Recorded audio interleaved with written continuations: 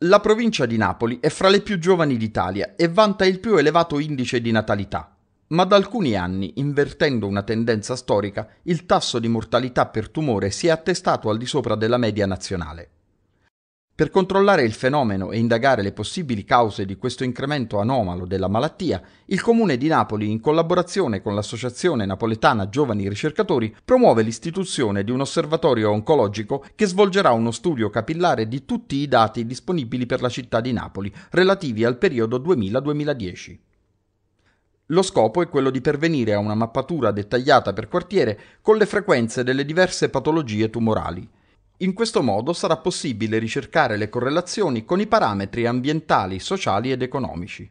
Si discute molto sulla possibilità che alcune malattie siano legate all'inquinamento del suolo e dell'aria. La ricerca servirà a verificare scientificamente la consistenza di quest'ipotesi. Poter stabilire un rapporto di causa-effetto tra gli inquinanti e la patologia oncologica è sempre un compito molto difficile e anche opinabile. Abbiamo scelto invece di cominciare un'osservazione degli ultimi dieci anni.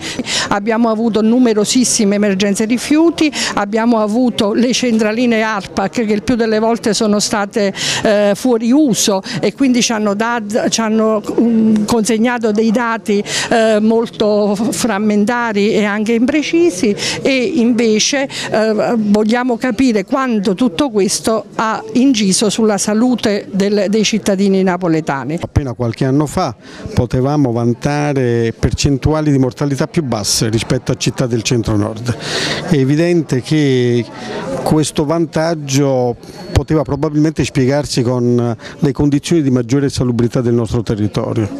Sono state fatte scelte ambientali sbagliate negli anni passati, oggi è urgente rimettere sotto controllo e monitorare quindi i cambiamenti e le politiche ambientali.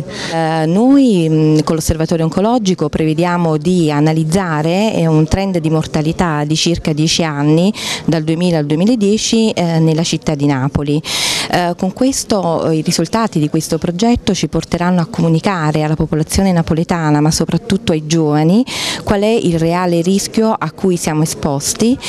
Lo studio, che coinvolgerà giovani ricercatori medici, informatici e statistici, avrà la durata di un anno. I risultati saranno quindi resi pubblici anche per incentivare l'attuazione di strategie mirate di prevenzione.